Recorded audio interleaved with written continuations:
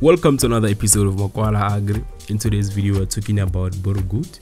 So, a Boer goat it's a breed that's come from South Africa. It was selected breed in 1920 in the Eastern Cape province. Um, and it, it, it, it was used for meat purposes. So, it has also been imported to many countries and it has been used to improve the meat quality of other breed. So Boer goats uh, in 2021 or 2022, not sure about the year, but that's when I, I came across um, as one of them was sold for 500,000. So world champion Boer goat Ram was sold for 500,000 by a guy called Lucas Berger in Pretoria.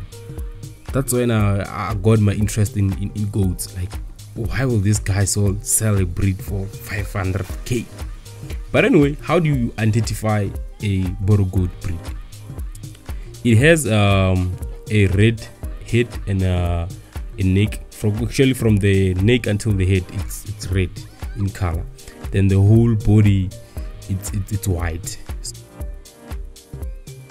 Then the male weight average is around 114 kilogram well the female average weight is around 94 uh, kilogram and their height it's an average of 78 for both male and female